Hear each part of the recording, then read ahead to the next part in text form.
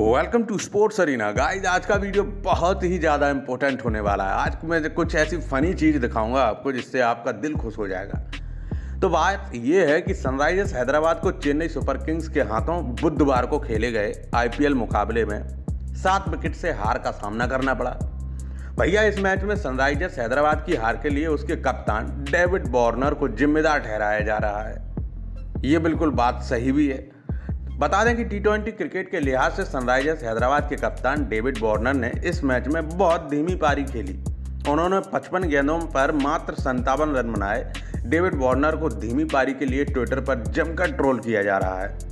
Fans ने David Warner को लेकर काफ़ी मीम्स बनाए हैं। वो सारे मीम्स मैं आपको दिखाने जा रहा हूँ। इससे पहले आपसे रिक्वेस्ट कर लूँ कि आप वीडियो पूरा देखिएगा और हमारे चैनल को अभी सब्सक्राइब कर लीजिए, जिससे कि आप स्पोर्ट्स से जुड़ी इंटरेस्टिंग खबरें सबसे पहले जान सकें तो भैया एक एक करके ये मीम्स पर नज़र डालिए, जो कि डेविड बॉर्नर के लिए बनाए गए हैं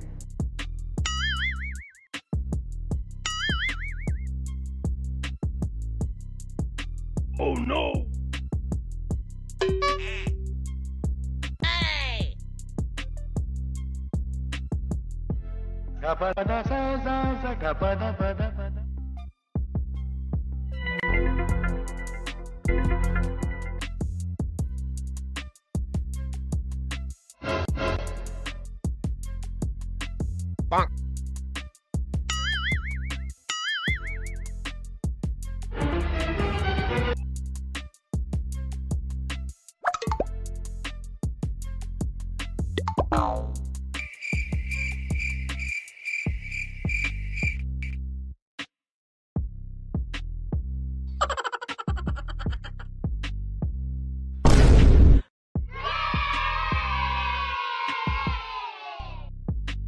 Guys Chennai super kings के खिलाफ सनराइजर्स हैदराबाद की हार के बाद कप्तान डेविड वार्नर ने ज़िम्मेदारी लेते हुए यह स्वीकार कर लिया है कि उन्होंने काफ़ी धीमी बल्लेबाजी की। वार्नर ने कहा, मैंने जिस तरह की बल्लेबाजी की, उससे मैं पूरी ज़िम्मेदारी लेता हूँ। मैंने धीमी बल्लेबाजी की है।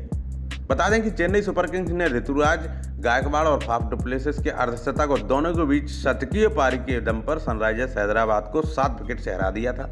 चेन्नई सुपर किंग्स लगातार पांचवीं जीत के साथ पॉइंट्स टेबल में टॉप पर पहुँच गई है। तो गाइज़ ये तो थे डेविड बॉर्नर के खिलाफ बने मीम आपको ये वीडियो कैसा लगा, आप हमें कमेंट करके ज़रूर बताइएगा।